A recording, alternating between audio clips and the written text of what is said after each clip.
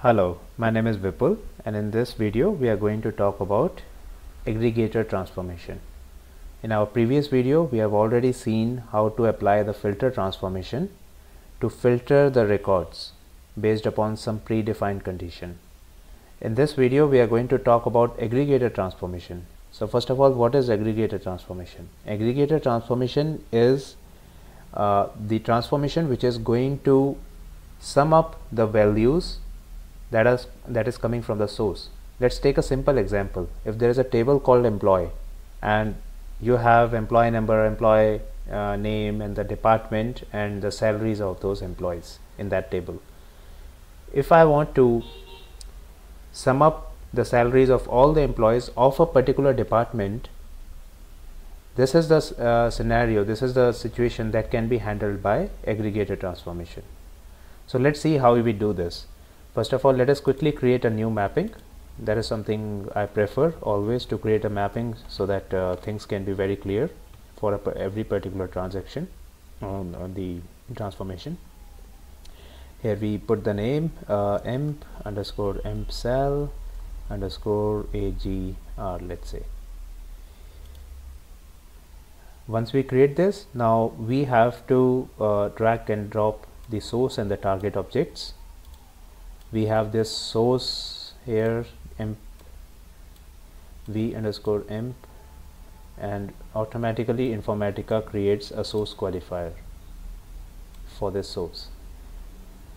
Now let us drag the target where we want finally the summed up salary of the employees of a department to get stored so we have the source we have the target. Now let us create a transformation which can help us to achieve that target. And that is uh, trn is the naming that we can give m underscore emp cell underscore agr the transformation is ready. Let us try to place it between the source and the target and let's just have the salary and the department number. These two columns in this transformation. Once you double click you would have to go on the ports and create a new port where you would like to store the summed up salary of the employees of a department. So let's call it total sal and uh, give it some data type and uh, we group it and uh, we then open the expressions window. In the expressions window expression editor we are going to use the sum uh, function. This particular function in this function let us remove this total sal in the sum function we are going to uh, sum up what? Salaries of all the employees. So see what we have done. We have we are saying that please sum up the salaries of all the employees of a particular department. We have put a group by on the department number. It is going to sum up the salaries. That is this column the values in this column based upon the department number group by department number and it is going to store it in total sal let's apply this. Okay. And uh, now we connect this column and this column to the target table. That's it. Now we just uh, save this mapping once we have saved let's go in the workflow manager and once again create a new workflow to run this mapping.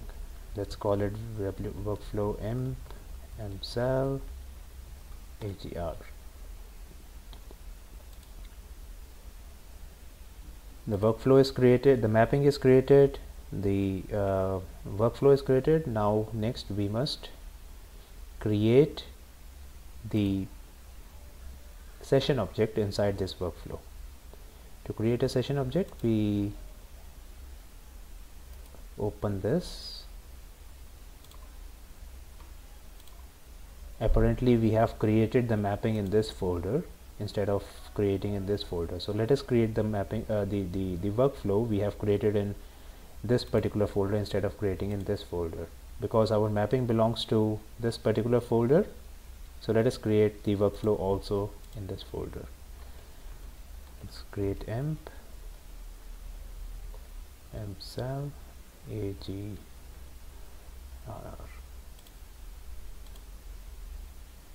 now as we see the workflow has been created here. Let us create quickly a task a session task by the name sys underscore emp underscore mcell ag.r and it is going to ask us which mapping do we want to connect it to. We will say that we want to connect to first one emp mcell agr this is done.